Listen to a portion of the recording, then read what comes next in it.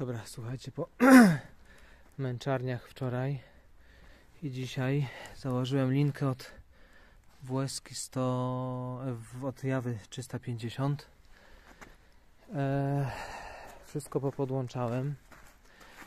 E, gaźnik troszeczkę na chwilę, teraz tak na sztukę oparłem tu o trytytki. Będę musiał coś pomyśleć, żeby on się po prostu o, nie szedł w dół. E, sanie włączone. Aż jestem ciekawy. Linka cholera jasna okazała się teraz zbyt długa. Nie wiem, nie mogę trafić po prostu na odpowiednią. Wykręciłem już tutaj chyba maksymalnie jak mogłem. Mi się wydaje, może jeszcze trochę wykręcę. Ale to linkę sobie spróbuję ogarnąć później. Dobra. Zobaczymy, czy odpala. Jak chodzi. Sanie włączone. Kranik podłączony. No proszę. Za pierwszym razem, nie wiem, sanie chyba mogę już wyłączyć.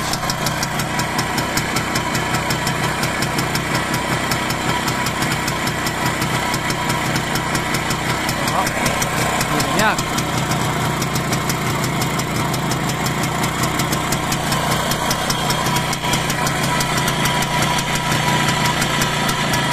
Aha, po prostu na dół.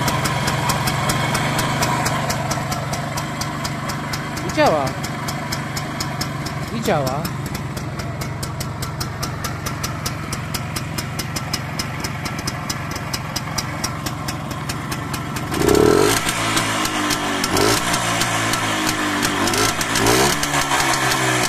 Wiesz, nie namaczałem tego filtra, nie wiem, on powinien być mokry.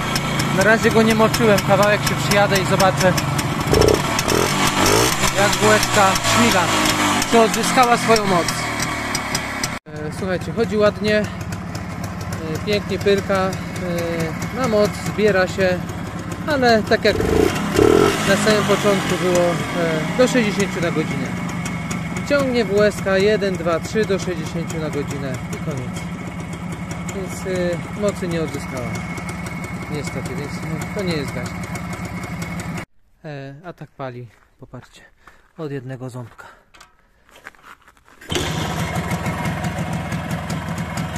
Z gaźnika jestem zadowolony, mimo tego, że tutaj będę musiał coś pomyśleć. To ta tretytka chyba nie jest dobrym rozwiązaniem, żeby on nie latał góra-dół. E, I tyle, no ale cały czas jest problem nierozwiązany pod kątem tego, że ona mi jedzie do 60 na godzinę. I koniec. Zęb 13. Nie wiem. Nie wiem co jest. Kolega mi zerknie w cylinder w tłok. Może tam yy, tkwi problem.